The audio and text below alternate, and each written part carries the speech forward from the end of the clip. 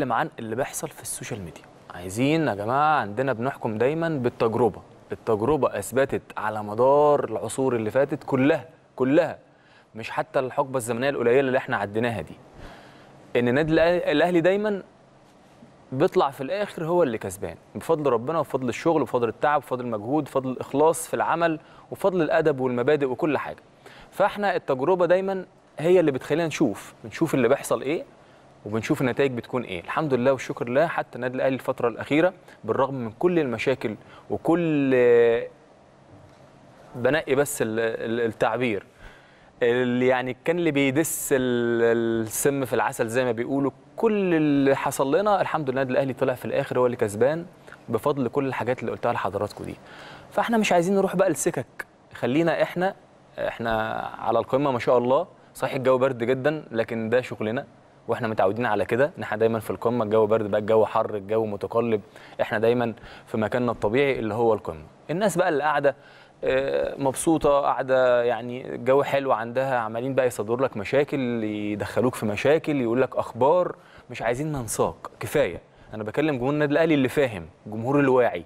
إحنا من أصغرنا لأكبرنا ما شاء الله بقينا واعيين جدا وحتى كمان الناس أنا بدخل أشوف ردود أفعال الناس لا يا جماعة في تجربة وأنا قريت النهارده بصراحة كذا كده آه، يعني آه، مقالة كذا مقالة لجماهير النادي الأهلي إن إحنا يا جماعة فعلا عندنا تجربة وعندنا تجربة أثبتت إن إحنا دايما في الآخر رأسنا مرفوعة بأدبنا وأخلاقنا وشكلنا وانتظامنا وكل حاجة وعملنا واجتهادنا ومجهودنا ولاعيبتنا وإدارتنا كل حاجة ما شاء الله ما شاء الله. عشان كده ربنا دايما بيتوج مجهودنا بالتعب اللي ما بيجيش آه، من فراغ والانتصار ما بيجيش من فراغ. عجبني قوي عماد النحاس آه، في ماتش المقاولين امبارح لما بيسألوه آه، انت عملت مباراة كنت تستحق الخسارة. قدام نادي الاتحاد وفعلا كان عماد النحاس امبارح يستحق الخسارة.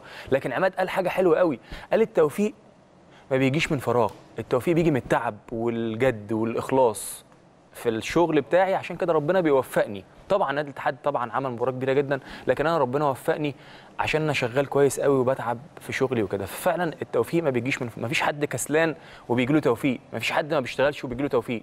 التوفيق بيجي فعلا للإنسان اللي شغال حتى لو أنت بقى بيصادفك سوء حظ لكن عندك آه، في الآخر بتكسب مباراة أو بتكسب عشان أنت فعلا كنت شغال قبل كده وتعبان.